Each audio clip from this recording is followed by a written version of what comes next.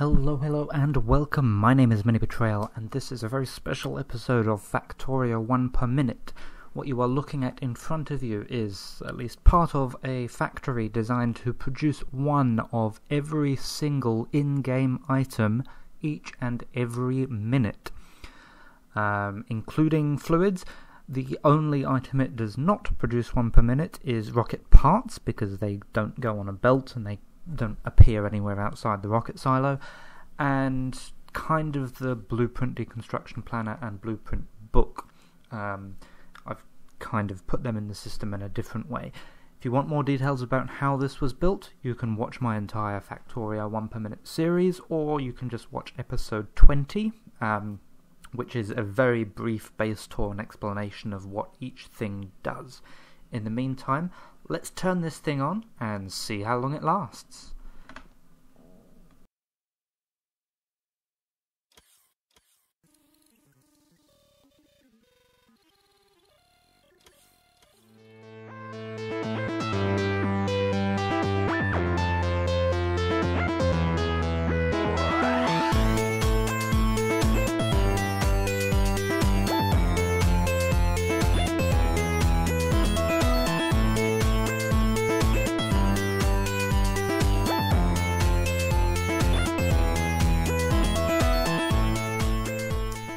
Thirteen hours forty six minutes um, and three seconds, just because that's the time every minute that it checks to see if it actually has made.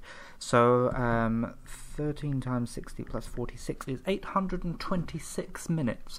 I don't think that's bad, considering that's eight hundred and twenty six. Power Armor Mark IIs, 826 rocket silos, 826 atomic bombs, everything like that each and every minute. Our culprit, it turns out, was batteries. Um, now, I did leave the thing running firstly overnight. Um, I had a brief check on, in on it at about seven hours or so. Then I went to work, came back, and it had stopped. Um, so by that point, everything's backed up again. In my testing, though, um, the batteries I suspect were lacking due to a lack of sulfuric acid, which um, in the past at least has in turn been due to a lack of sulfur, in turn due to a lack of petrol, in turn due to um, just you know that you know how everyone's bumped into the problem with the three oil fractions. One of them fills up, and then the other two don't produce. Um, I thought my system was able to cater for that. Apparently not, but I wasn't here to see it actually go wrong. Um, there will be links in the description to um, a version of this map that you can play for yourself, a version of this map that you can play for yourself without any mods. Um, so the mods I have used are Vesipiles Aquafarm to automate fish, tree cloning to automate a collection of raw wood, um, and creative mode not actually to build it, but only for the purpose of getting rid of the materials once a minute. So I've got these void chests up here. In the non-creative version, these are requester chests that will slowly fill up this network. And there's a similar thing down here for fluids as well. Um, so yes, versions to both of those. I'll put a version, uh, oh sorry, I'll put a link to the spreadsheet I use to calculate all the ratios.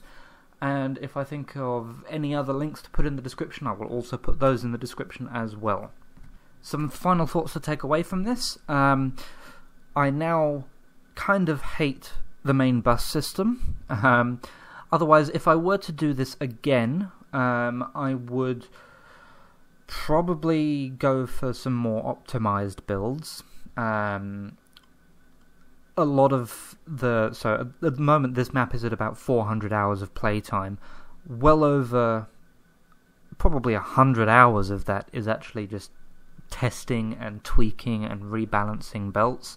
Um, so what would be really good is if I could speed the game up, run it all at you know two times speed or four times speed, just to reduce that portion of it. Um, other things that might be nice to do is instead of building exactly to my ratios that are in the spreadsheet, maybe have overbuilt.